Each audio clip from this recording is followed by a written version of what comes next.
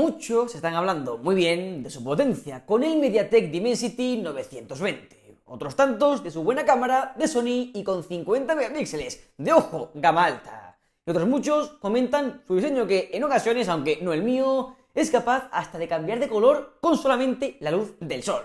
Pero es muy extraño. Muy pocos están hablando de la batería. Para mí, un punto importantísimo en el Realme 9 Pro Plus y en todos los teléfonos del mundo. Así que hoy haremos la prueba de potencia extrema, duración y no solo eso, también su carga rápida que con 60 vatios. Pinta realmente interesante. Así que si quieres saber la verdad de la batería del Realme 9 Pro Plus, quédate porque empezamos.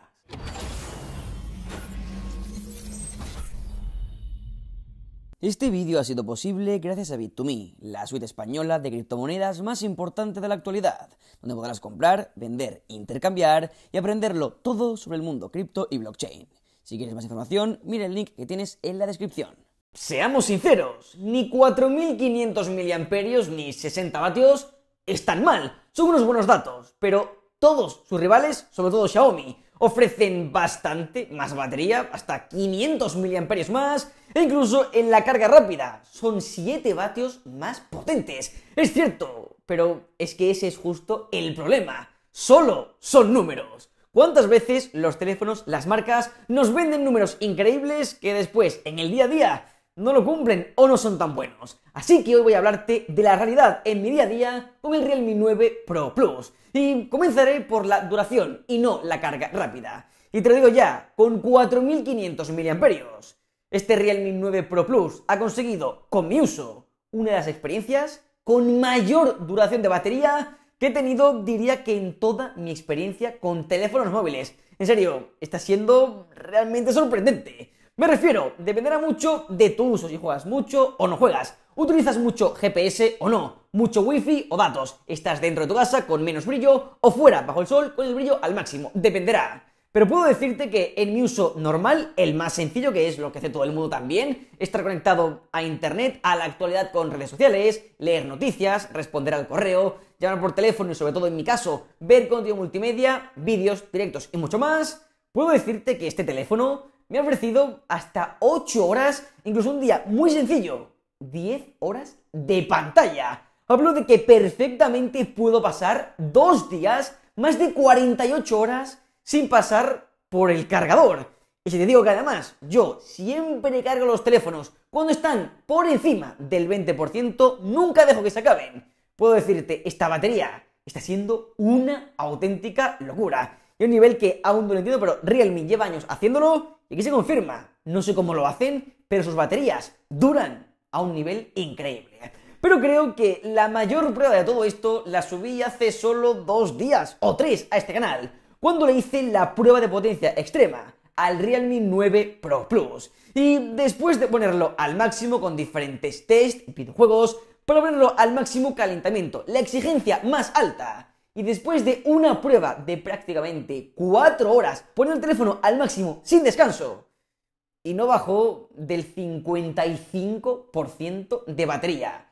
No gastó ni un 45 después de 4 horas de un duro uso, poniendo el teléfono al máximo. Aún así, te supera las 8 horas de pantalla. Es una locura. Y aún así, quiero hoy mostrarte el día, o mejor dicho, los días más duros en los que esta batería ha rendido a un nivel increíble. Déjame que te lo muestre. Debo ser muy rápido porque, como veis, me queda solamente un 1% de batería, el teléfono pide que no cargue, así que te lo enseñaré muy rápido. Hoy ha sido el día más duro que he dado al teléfono en uso.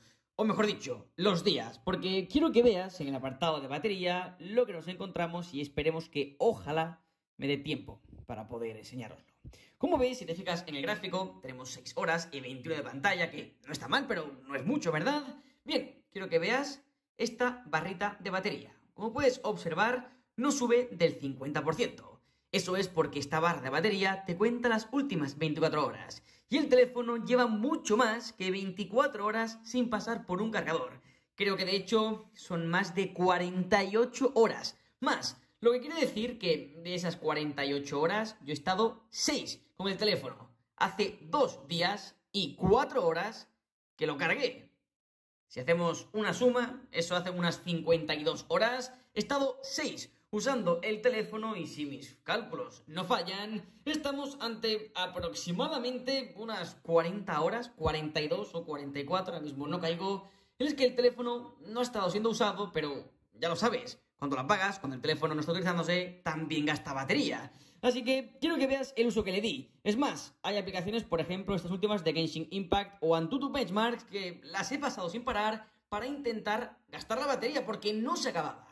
Y es un uso en el que, aparte de jugar un poco, usar la cámara, de hecho le he instalado hasta una Gcam, si puedo enseñarlo, así que muy pronto habrá vídeo en el que os mostraré la cámara con la Gcam, así que interesante, pero como digo, donde además usé bastante los mapas de Google, bastante tiempo, no sé cuánto me aparece aquí, más o menos una hora en segundo plano indicándome, y eso quiere decir que estaba en el coche, conduciendo, bajo el sol, lo que el brillo al máximo, el wifi quitado, solamente los datos, GPS puesto, Bluetooth para la música, y aún así, el teléfono, tras 6 horas de pantalla, cuarenta y tantas horas sin pasar por un cargador y sin ser usado, y aún así, me queda un 1% de la batería. Incluso con la cámara, que, vaya, se ha apagado. Es una locura, la batería me está gustando mucho, pero eso solo es una parte de este vídeo. Pasemos a la segunda, que esta sí que es interesante. Para ello voy a abrir la caja porque no he querido probar la carga rápida hasta hacer este vídeo, para sorprenderme contigo, para que tú y yo lo veamos a la vez y no esté ni preparado, no tengo ni idea de cómo de rápido va a ser esta carga. Si conocemos que sí, tenemos unos 60 vatios, lo cual es bastante rápido, y Realme promete unos 45 minutos para poder cargar toda la batería, lo cual está muy bien. Pero muchas veces las marcas prometen cosas, después no las cumplen, y para eso es este vídeo. Cargador de 60 vatios, vamos a enchufarlo y vamos a cronometrarlo. Para que se vea que todo es legal y utilizo el cargador oficial de Realme que viene en la caja, os lo mostraré en directo cómo lo conecto. Lo ponemos por aquí, ya, le daré la vuelta para que se pueda encender en pantalla. Y veamos la carga rápida. Y voy a enchufarlo aquí delante de todos vosotros. Tenemos aquí, para poder enchufarlo, aquí está. Voy a poner el cronómetro y ahora sí que sí. Lo ponemos y empezamos a cargar. Veamos cuánto tarda. Como muchos sabéis, la carga rápida no es lineal. Los primeros porcentajes se cargan mucho más rápido que los últimos. Así que, en vez de esperar que esté al 100%, he venido para ver cómo lo hace en 15 minutos. En teoría lo más rápido. Así que, de un 0%, en 15 minutos hemos pasado hasta un 46%. Prácticamente la mitad de la batería en 15 minutos. Nada mal. Llegamos a la media hora y la batería se encuentra en el 79%. 79%. Nada mal, con esto ya me hago el día entero sin ningún problema y día y medio prácticamente. Así que veamos ahora, no olvidemos que lo máximo eran, en teoría según Realme, 44 minutos. ¿Lo cumplirá? Pronto lo veremos.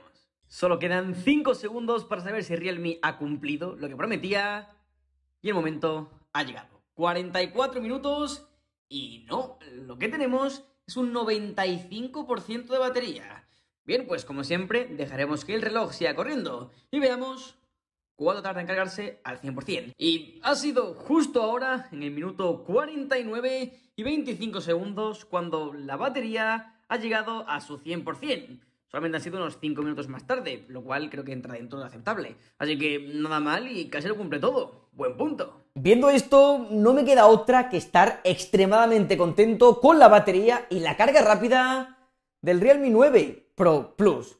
Un teléfono que está cumpliéndolo todo. Sí, tarda un poquito más en cargar de lo que pone en la página web. Pero es que hace una semana hice esta misma prueba idéntica con su rival, el Redmi Note 11 Pro 5G, que tiene 67 y no 60 vatios como este, y tardó bastante más en cargarse. También tiene 5000 mAh y este 4500, y aún así, esta batería me está durando un poquito más. No tanta diferencia, pero sí que está un poquito por encima. Así que no puedo decirte otra cosa. Estoy contentísimo con la batería de este Realme 9 Pro Plus. A mí me está encantando y para mi uso va sobrado. Una batería que podría irme un fin de semana y si lo uso poco, puedo irme sin llevarme el cargador al lugar que vaya. Y eso creo que jamás en mi vida lo he dicho con un teléfono. Estoy altamente y gratamente sorprendido. Y eso que yo soy un usuario muy normal. Si quisiera ir al extremo poniendo ahorros de energía muy importantes, podría estar tres días sin cargarlo, una locura. Pero a mí me gusta más usarlo sin guardar el teléfono y darle el máximo rendimiento, sin quitarle potencia. Así que haciendo eso aún así, esa batería, increíble.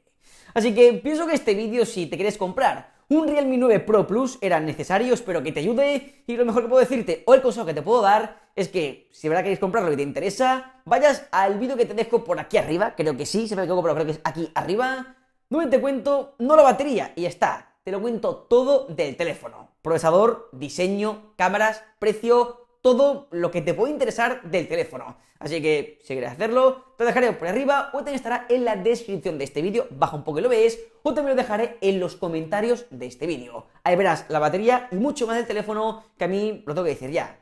Me está gustando mucho. Realme, buen trabajo, y aunque me encanta Xiaomi, la verdad siempre lo he dicho, me encanta la competencia, y si Realme supera a Xiaomi, estaré contento, porque, como siempre digo, Xiaomi deberá mejorar para ser aún mejor y siempre la competencia nos hace tener los mejores teléfonos y somos tú y yo los máximos beneficiados. Pero bueno, ya lo sabes, que eso es solamente mi opinión. Te pregunto ahora, después de ver todo esto, ¿tú qué opinas? ¿Te ha gustado? ¿No te ha gustado? ¿Te lo comprarías? Sea como sea, coméntame que te quiero leer. Y hasta aquí el vídeo del día de hoy. Si me estás viendo, muchas gracias. Eres único o única. Y lo digo de verdad. Según las estadísticas de YouTube, menos del 10% de las personas que entran en un vídeo se quedan hasta el final. Y no de mi canal, de cualquier canal del mundo. Por lo que eres único o única, y lo eres de verdad. Y te digo que si gente como tú, Tecnophone Pro, no sería nada. Gracias de corazón por llegar hasta el final. Gracias de corazón por tanto apoyo. Gracias de corazón por ser único o única. Y para que mis gracias sean más que simples palabras, te voy a hacer dos regalos. El primero lo he elegido yo para ti, creo que te puede gustar y te lo dejo por aquí arriba. Yo no me lo perdería.